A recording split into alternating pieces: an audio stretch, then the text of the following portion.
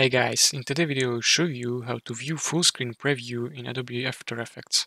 Add video clip to composition. Change the percentage underneath the video preview to 100%.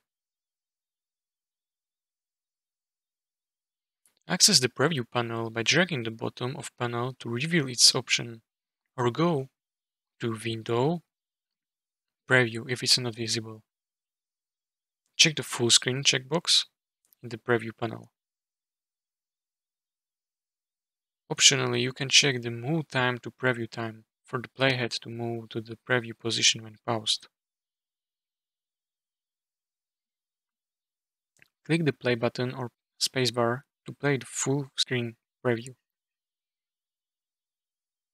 Now press the spacebar again to stop pause the video.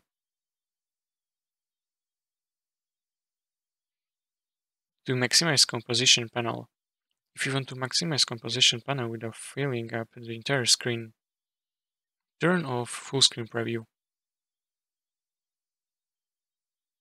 Click anywhere in the composition to select it.